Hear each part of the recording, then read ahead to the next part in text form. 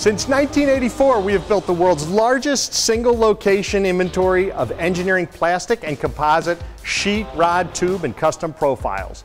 In all, we have over $20 million in inventory.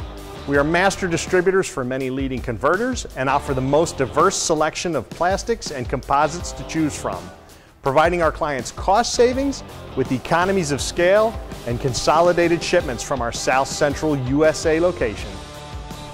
All stock items are available cut to size to optimize your yields and reduce cost with same day shipping, material certs, and C of Cs available upon request. Our experienced staff stands ready to assist you with unmatched service and support the Boedeker way.